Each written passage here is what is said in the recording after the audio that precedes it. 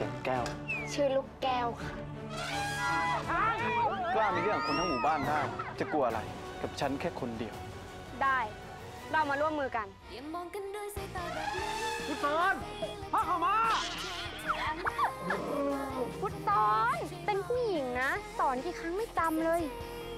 ไม่ได้ใช้รักใครแต่ใช้ลองมาทำความรู้จักกันให้มากขึ้นได้ไหมครับ ซะบ้างว่าของใครเป็นของใคร ยิ่งเห็นเธอเต้นแบบเนี้ย ฉันยิ่งสนุก แกกับลูกแก้วแก่นนี่ก็แก้ว ดูทุกเข้าวันขาจันทร์ดีถึงนะศุกร์ แกชอบลูกแก้ว19นาใช่ฬิไหมกา เริ่ม 22 มิถุนายนนี้ ทางช่อง 3 กด 33